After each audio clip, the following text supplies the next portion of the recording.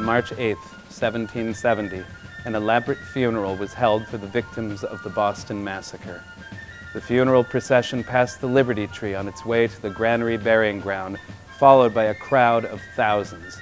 It was the largest public gathering the town had ever seen.